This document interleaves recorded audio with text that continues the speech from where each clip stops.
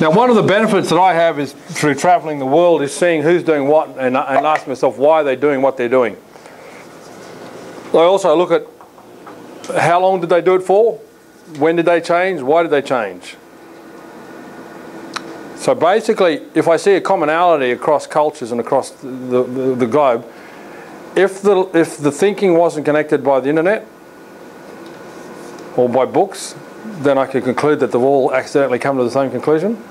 But if I see commonality in countries that are all exposed to the same sources of the internet, then it's no longer a coincidence.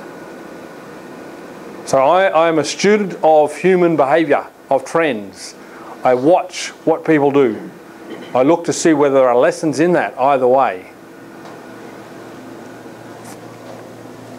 One of the greatest points of resistance I get when I tell people that what they're doing today coincidentally is what everyone else is doing, coincidentally which is what the dominant influences are in circles of teachings, people don't like that too much.